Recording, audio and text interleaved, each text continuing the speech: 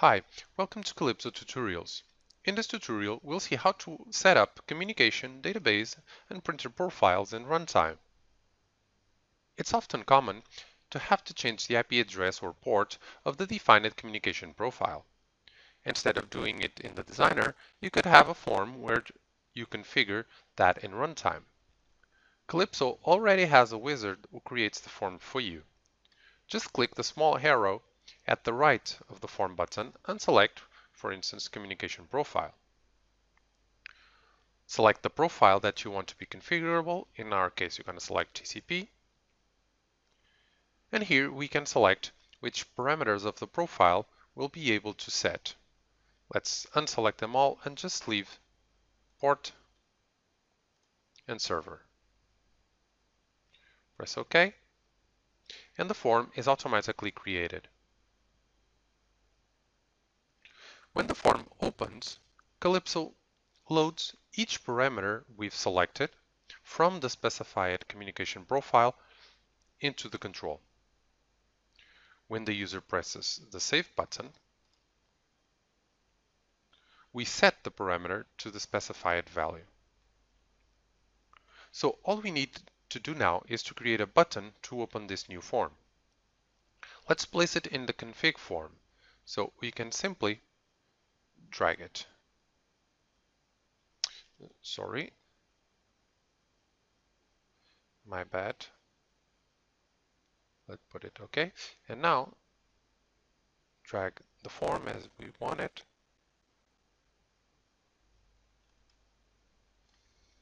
Just edit its text.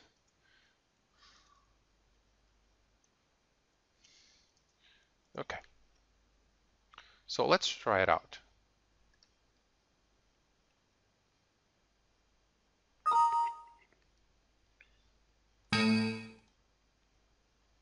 So I'm going to log in, config, config communications, and we can see the same values that were inputted in design time. Of course, if we change, for instance, the port, communication will stop working because MIS Communicator isn't set up to listen to port uh, 8001. But let me just save, exit, go for instance to customers, unable to connect to host. We have the diagnose tool. So you can't connect through that profile. So he cannot ping MIS communicators through that profile. Of course, if we set it back,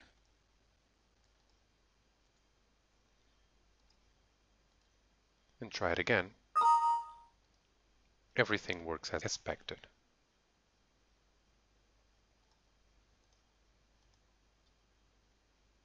The only wish issue with this feature is the update of the project. I'm going to change that behavior so that when we run the project, everything works as expected. So just to exemplify, I'm going to run the project again.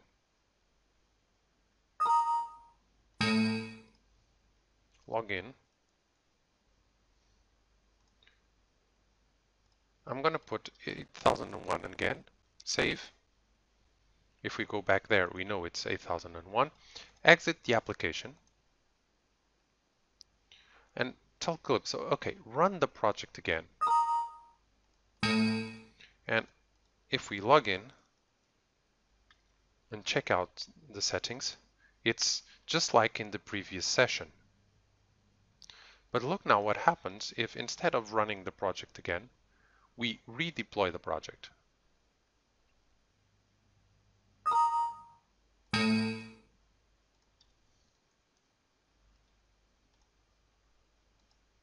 So as you can see, the properties were set back again to the ones in the designer. And this happens either in the simulator or in the mobile device. For instance, when you update the project in runtime.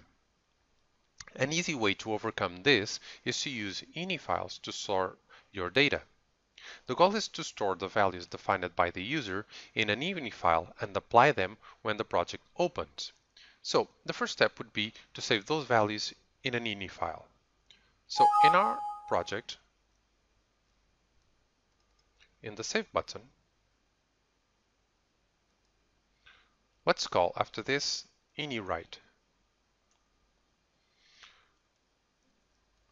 Let's place it in the projects folder and let's give uh, the name of the project to the ini file.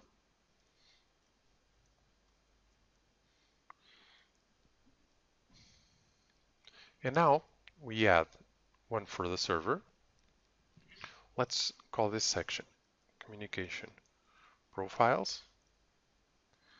Let's set the keyword as server and the value one that comes from the input. Now do the same thing for the port.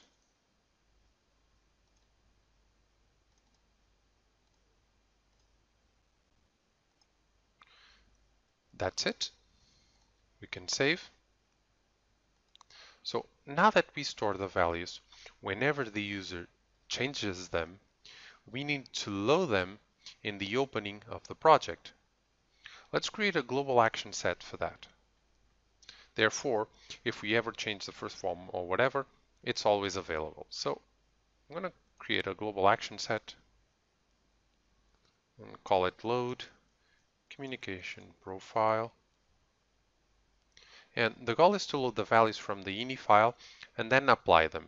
But we need to be careful because the file might not exist. So let's just save the global action set, close the window, and let's copy the get synchro parameter actions.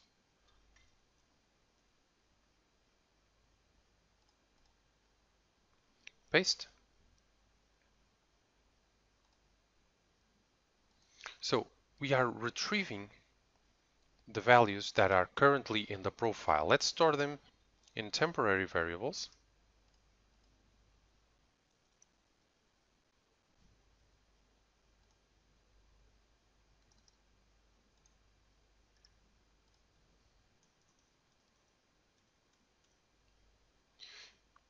And now we can load the ones that are in the ini file. So I'm going to save and copy the ini write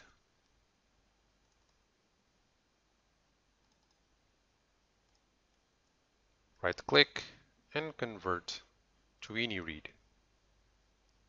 So all we have to do is change the target and I'm going to select here the server and I'm going to also say that the default value is the one on the temporary variable server. So actually we're saying, okay, please load the value of the file into this local variable, temporary variable. If it doesn't exist, use the one that's already there. So now we do the same thing for the port.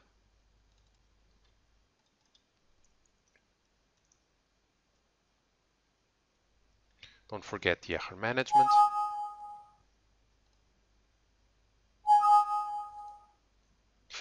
I'm sorry. In this case, there's no error management. That's why Kalipso isn't adding anything. This is just a refresh that is missing. So we get the values from the profile. Then we get the values from the ini file, but if they don't exist, we use the ones that were already in the profile. So now all we need to do is the setting of the um, values into the profile. For that, we can copy the get and right click convert to set. That's it, that's all we have to do. Right click convert to set. Done.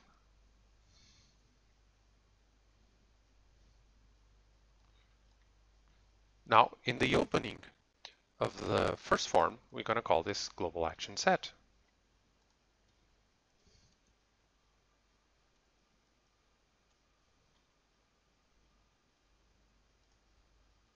That's it. Now let's try our project.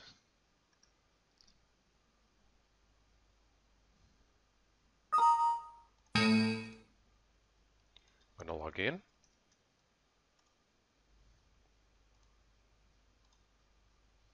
So I'm going to set it to 8001. Before saving it, let me go to the designer. Don't stop the simulator. Open the project folder on the simulator so you can see there's no ini file yet. And now I'm going to save. The ini file gets automatically created. We can even open it just to check it out. You can see the values there. And now we can exit, log out, and exit again, and redeploy the project. Not running the project again, but redeploying it. Configuration, communications, and you can see that the port is still the one that was defined in the ini file. Notice that what we've just done for the configuration to configure the communications could be done for database profiles and also for printer profiles. Also, don't forget that you can copy paste not only actions, but also controls and forms between projects. So you only need to develop this type of feature once and then you can copy it throughout all your projects. Congratulations, you've concluded the tutorial about setting up profiles in runtime.